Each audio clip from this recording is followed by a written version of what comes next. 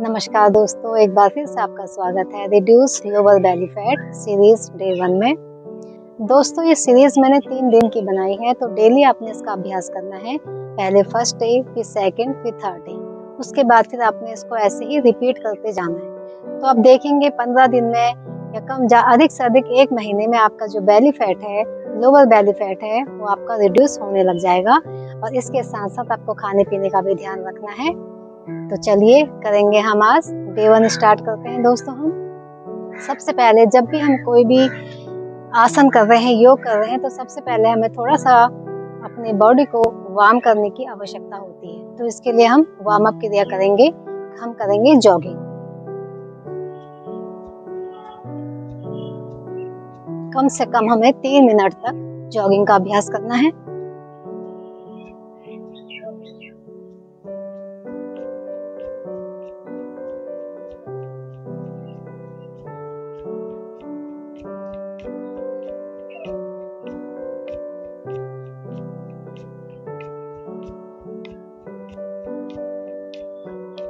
करते जाएँ।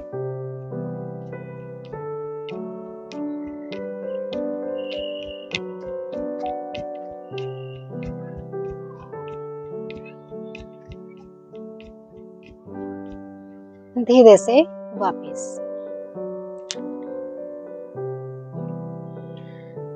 यहाँ से हम दो आसनों का कॉम्बो करेंगे, जो हमारी लोअर एब्स को घटाने के लिए फैट को घटाने के लिए बहुत ही लाभकारी है। दोनों हाथों को सामने रख लें। दोनों घुटनों को आसन पर लगाएँ। यहाँ से धीरे धीरे अपने शरीर को उठाएँ और अपनी हील्स को आसन से लगाएँ। शरीर को पीछे से पीछे अधिक अधिक खींचें। जितनी आपकी क्षमता है, जितना आपसे हो सकता है, उतना करें। होल्ड करके रखेंगे कम से कम 10 सेकेंड।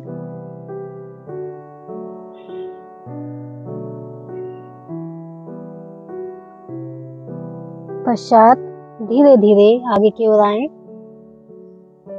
यहाँ से कोबरा पोज में आ जाए। गर्दन को पीछे से पीछे, नाभि को नीचे की ओर दबाएँ और अपनी कमर को भी पीछे की ओर। इनहेल करना है इसमें। होल्ड करके रखें। श्वास को होल्ड करके नहीं रखें, अपने शरीर को इस पोजीशन को बना के रखेंगे इसमें होल्ड करके रहना है अपने। श्वासों में नहीं रुका जाता नॉर्मल ब्रीथिंग फिर अपने शरीर को उठाएँ। फिर पीछे की ओर खींचें। और अपने सर को भी आसन से लगाने की कोशिश करें। होल्ड करके रखें। इस क्रिया को कम से कम पाँच बार करें। शरीर को आगे की लाएँ। इनहेल करते हुए फिर से अपने नेक को पीछे से पीछे ले जाएँ। नाभि को नीचे की ओर दबाएँ।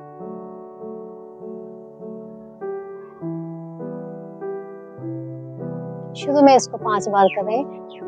जब अभ्यास हो जाए आपका, उसके बाद आप दस बार और बीस बार भी आप इसको कर सकते हैं। फिर अपने शरीर को उठाएँ, पीछे की ओर ले जाएँ।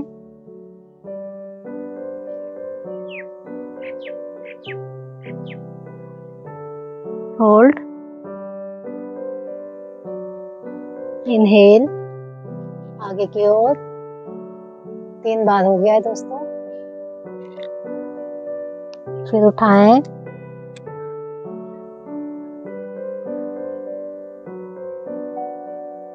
होल्ड करें। इनहेल करें।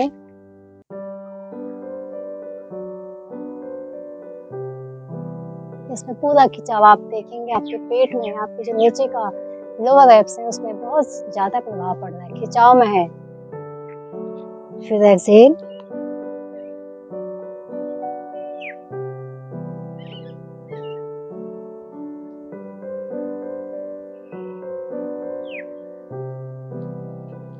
Inhale.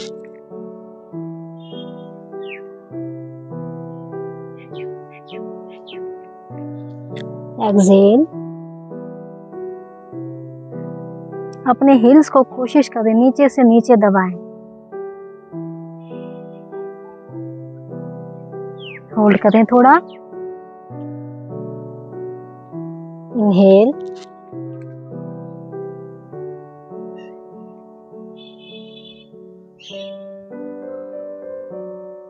जितना आप नीचे की ओर दबाएँगे अपनी नाभि को, उतना अच्छा प्रभाव पड़ेगा। एक बार फिर एक्सहेल करते हुए पीछे की ओर।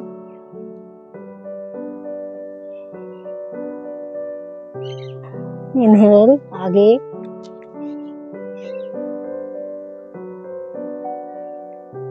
धीरे से वापस। एक बार डीप ब्रीथिंग नॉर्मल श्वास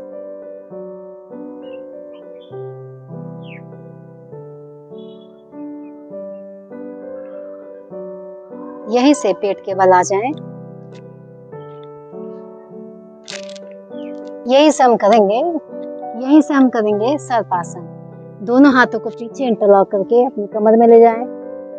श्वास को भरें आगे से अपने सीने को उठा लें पीछे से अपनी जंघाओं को उठाते हुए पेट के बल। दाएँ बाएँ। कोशिश करें आपके घुटने मिले हुए हों, आपके घुटने सीधे हों, आपके पैर के पंजे भी सीधे हों। दोनों भुजाएँ भी खींची हुई हों पीछे की ओर। ढीलापन ना हो। श्वास भर के करना है इनहेल करके ही करें इसको। श्वासों में अगर नहीं रुका जाता है तो श्वासों को एक बार सामान्य करें, फिर पुनः श्वास को भरें और फिर करें। जब आप इस क्रिया को कर रहे हैं तो आपके पेट में श्वास होना चाहिए, तभी प्रभाव पड़ेगा। इसको भी कम से कम पाँच मिनट करें।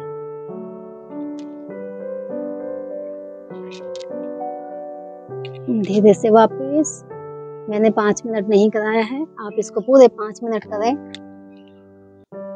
यहीं से दाई हथेली ऊपर से बाई हथेली रखते हुए अपने माथे को रखें और एक बार डीप ब्रीथिंग ले लें।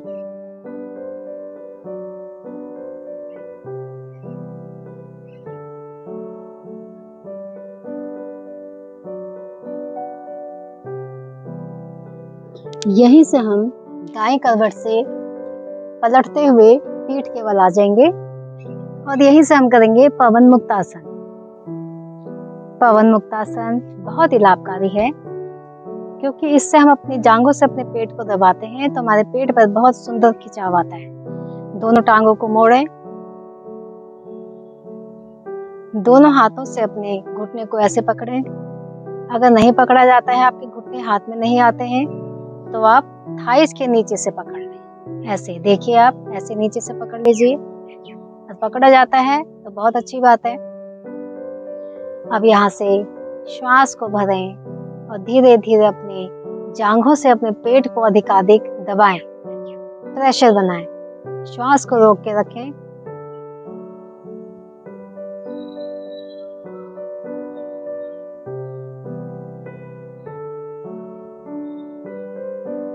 अब श्वास को बाहर निकालते हुए अपने सीने को उठाएँ और अपने माथे को घुटनों पर लगाने का प्रयास करें।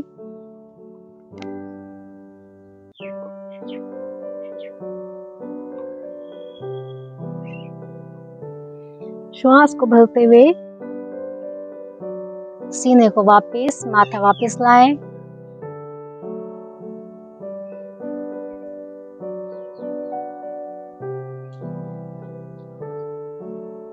श्वास को छोड़ते हुए टांग को सीधा करते हैं इस क्रिया को भी हमें पाँच बार करेंगे कम से कम? फिर से करें दोनों हाथ। फिर से घुटनों पर इनहेल करें, घुटनों को दबाएँ नीचे की ओर।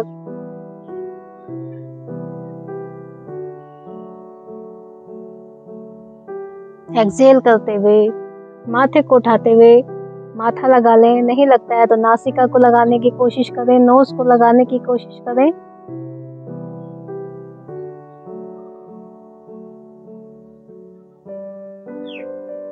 श्वास भरें, माथे को वापस लाएँ। श्वास बाहर निकालते हुए उन्हें घुटने सीधे।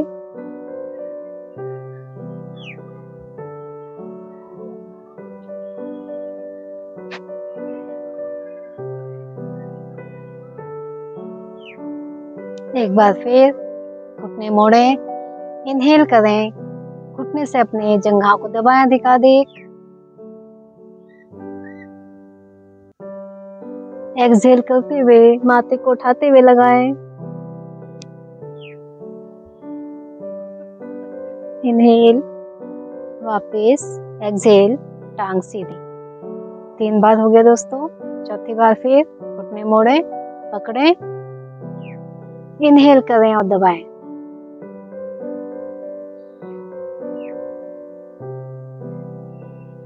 एक्सहेल नोज़ को लगाएँ।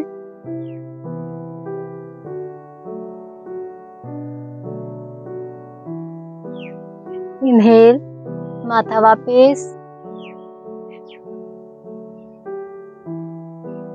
एक्सहेल टांग सीधी। एक बार फिर घुटने मोड़े पकड़े। इनहेल करें। आशो आवाज़ आ रही बेटा? आवाज़ आ रही।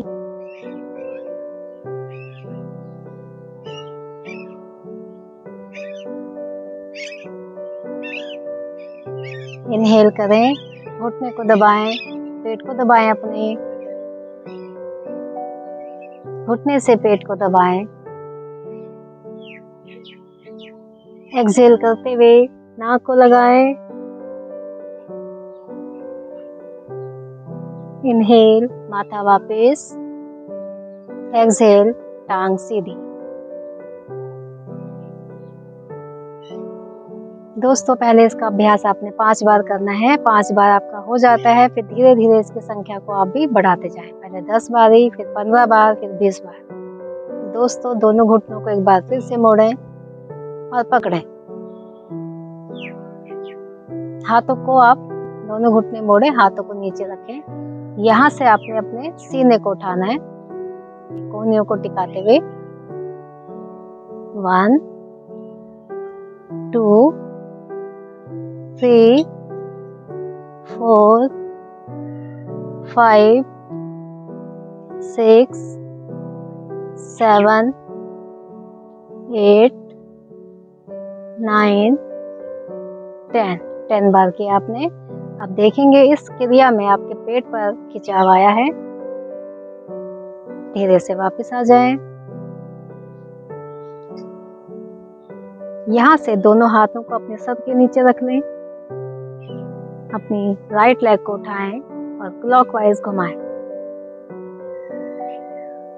पाँच बार पाँच बार घुमाएँ और पाँच बार इसका अपोजिट करेंगे। ध्यान रहे, मेरा घुटना सीधा हो, पैर के पंजे एकदम सीधे हो।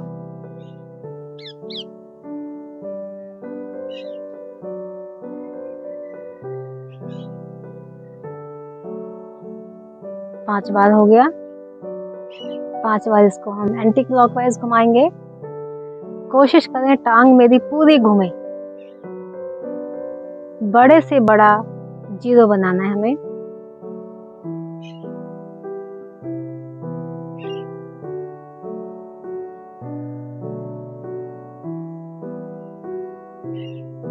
धीरे से वापस। अब यहीं से अपने बाएँ टांग को उठा लें। फिर से इसको क्लॉकवाइज घुमाएँ। पैर का पंजा एकदम सीधा, घुटना भी एकदम सीधा। गति मेरी धीमी हो। ज़्यादा तेज जल्दी जल्दी नहीं करना मुझे। जितना हम धीमी गति में करेंगे, उतना हमें ज़्यादा लाभ मिलेगा।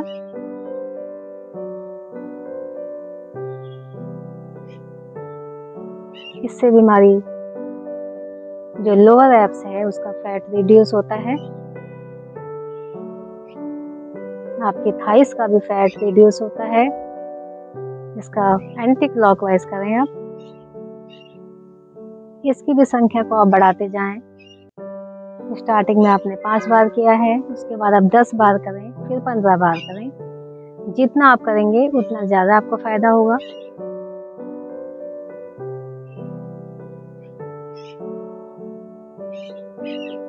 धीरे से वापस एक बार डीप ब्रीथिंग ले लें विश्राम ले लें।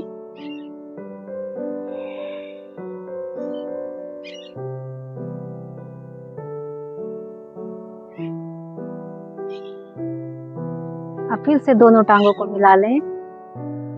और दोनों टांगों को मिलाते हुए देखिए ऊपर, सामने, घुटनों को मोड़ते हुए अपनी ओर।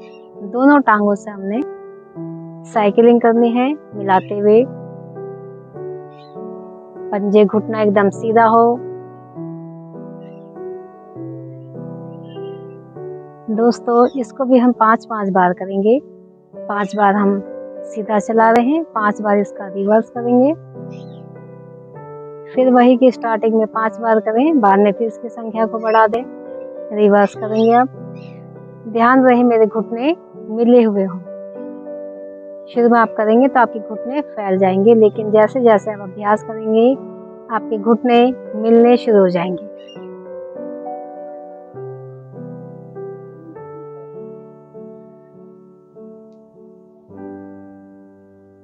धीरे से वापस दोनों हाथ दाएँ बाएँ रख लें और एक बार डीप ब्रीथिंग लें।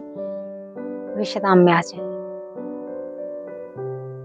लंबा गहरा श्वास लें।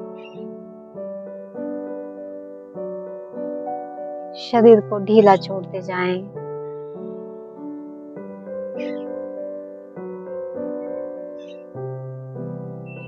शरीर का मानसिक अवलोकन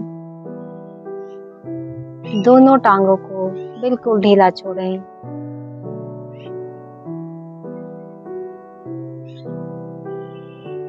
अपने लोअर एप्स को भी बिल्कुल ढीला छोड़ दें। अपर एप्स को भी बिल्कुल ढीला छोड़ें दोनों कंधे भी ढीले छोड़ दें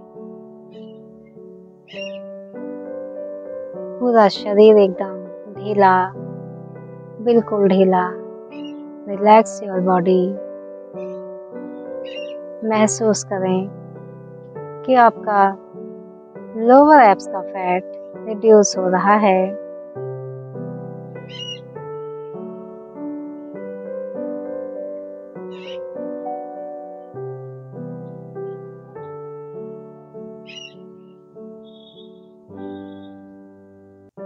चेहरे पर एक अच्छी सी स्माइल लाएँ अब धीरे धीरे दाएँ करवट लेते हुए उठकर बैठ जाएँ। अगर आप मेरे चैनल में अभी नए हैं तो इसको सब्सक्राइब करें, लाइक करें, शेयर करें और आपको ये वीडियो कैसी लगी मुझे कमेंट बॉक्स में अवश्य लिखकर बताएँ। और आगे आप कौन सी वीडियो देखना चाहते हैं, इसके बारे में भी आप मुझे बता दें ताकि मैं आगे आपकी कही हुई वीडियो को ही बना पाऊँ। मिलते हैं अपनी अगली वीडियो के साथ। अब तक नमस्कार।